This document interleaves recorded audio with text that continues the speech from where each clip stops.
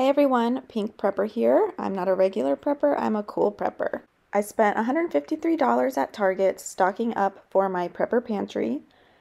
I broke it up into two orders. This is the first order, and the reason I did that is because I took advantage of a promotion going on. If you don't have the Target app, definitely get it. I got a $20 gift card for spending three separate purchases of $75 or more. Here's the first set of items I got in the first order. All of this was on sale or had some type of promotion um, that went along with it in the Target Circle app. I went ahead and labeled everything with a Sharpie with the best by date with the exception of the chips and put it in order from left to right.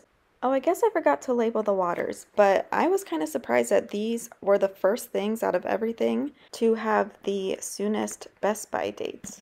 It is October 2021, and one of these cases expires next month in November 2021, December 2021, and then January. I ended up getting all three flavors that they had. This one is berry and has electrolytes. This one is kiwi strawberry, also with electrolytes. And then this one is immune support, um, orange raspberry flavor. I haven't had these Propel waters since they first came out. I was probably in middle school or high school. Um, I do remember liking them. But I honestly bought these just because they were on sale in the Target Circle app. I wanted to add some variety to my water storage in my prepper pantry but I had no idea the Best By dates were coming up so soon. I did the Target pickup, so I probably won't buy those again. Next up, I got some chips, and these and the dips were all part of a, another promotion going on with Target where you spend so much and that you get a $5 gift card. Now, chips are not your typical prepper food that you will see preppers buying, but you have to keep in mind I am new on this journey. The shelf life on these are not great, but one thing I am preparing for which I do believe is imminent, are food shortages at the grocery store.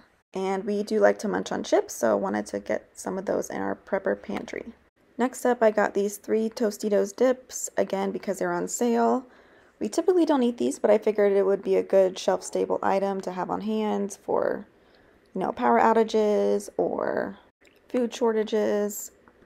We have had the avocado salsa one before, and it was so good. So I am excited to try these other flavors. I just need to remember to pick up some tortilla chips to eat them with. Next I got these four things of vitamins. They are for my toddler. Target was also having a sale on these. The one on the left is a pre and probiotic and the one on the right is just a daily vitamin. And we love this Smarty Pants brand. They have great ingredients. And as you can see, the expiration date isn't until January 2023. So these are definitely a great item to stock up on. We just go through these like crazy and definitely recommend that product. So there is everything from the first trip to Target. Like I said, I made another trip to take advantage of that sale they were running. And here are the bags from that second trip. I actually spent less money on this trip, but got a lot more stuff. My focus for this trip was to get more shelf stable items, things that'll last longer. Again, the goal was to stock up my prepper pantry. I am new to all this, so I am learning as I am going. So here's everything I got from my second trip to Target. Unbagged. Again, between this and everything I showed you previously, everything cost $153. Not too bad, all from Target. I went ahead and labeled all the expiration dates and put it in order from left to right in order of expiration with the stuff on the left expiring the soonest and the stuff on the right expiring the latest, if that makes sense. Um, so let's start with the first item. And the reason I put this one first is because it didn't have a expiration date on it. And by expiration date, I keep meaning to say best by dates. Um, I do know there's a difference, but I use them improperly, kind of interchangeably. So like I said, I couldn't find a best by date on this. Um, it's just grits, so I'm not too concerned about it, honestly. Um, but yes, we did get quick five minute grits. This was after my husband saw the huge pack of grits at Sam's Club. We typically don't have grits on hand, but he wanted to get them, but we're going to start out small. And this was also on sale at Target, so always great when stuff you want to stock up on is on sale. The next item was also on sale, so I decided to grab it. A great prepper, prepper pantry item, although I was kind of surprised that this doesn't have a best by date of longer. Uh, just some classic trail mix and I've eaten trail mix that's been kind of stale and it it was fine so I'm not too worried about that. The next item I got is this 8 count of individual Annie's mac and cheese cups. I picked these up specifically for us to take with us if we ever have to evacuate. I do live in a hurricane zone and evacuation zone A so that means that we are the first ones if there's an evacuation to have to evacuate. Most likely we will end up in a hotel and these are nice and light and portable. So I thought these would be great for our evacuation bags. I love the Annie's brands and this is something the whole family will eat. Next up I got the Target brand Up and Up of children's Tylenol. Figure this would be great to have in the prepper pantry. I definitely don't want to be caught without medicine for my child if she does get sick in case of an emergency, an evacuation, some type of shortage. Next up, I got some canned soups. I typically don't eat canned soup, but these were buy three, get one free, so I decided to go ahead and grab four. I got a couple different varieties, minestrone, New England clam chowder, and chicken and orzo with lemon.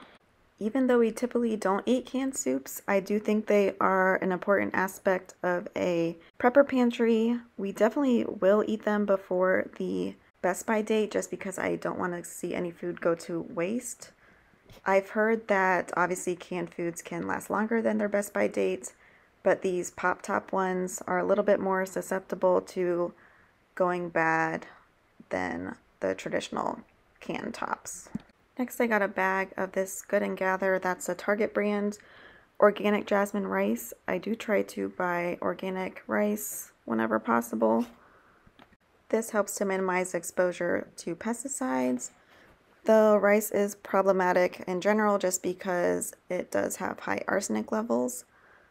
Despite all that, rice still is a big staple in our family's diet. Next, I picked up a package of this Daytime and Nighttime Medicine. It's Up and Up brand, which is a Target store brand, but it is the equivalent to the Mucinex.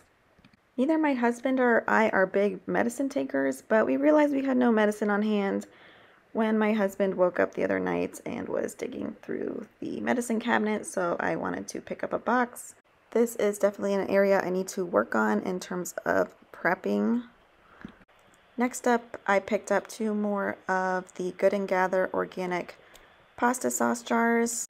Pasta is a huge staple in our house, a huge favorite, and I always try and get organic pasta sauce.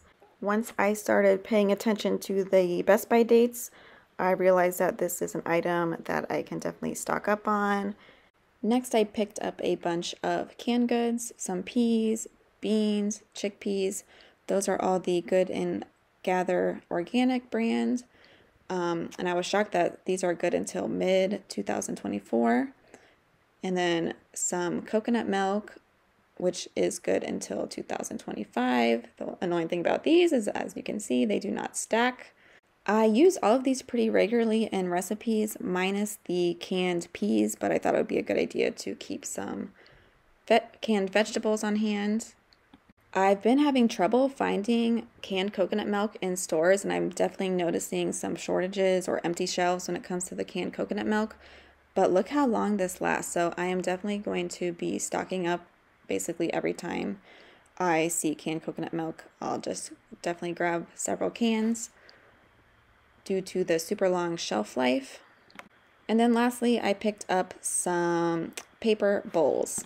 Now, I never buy paper bowls or paper plates or plastic cups. Honestly, I am very much against them. I think they are extremely wasteful and bad for the environment. However, I think for emergencies, they are a good item to have on hand. I do find it hard as I am starting this prepping journey to find that balance between, you know, healthy, unhealthy foods, stuff like this, the eco friendliness of products. If you have any suggestions or comments, please put them below. Like, subscribe. I appreciate it. Thanks. Bye.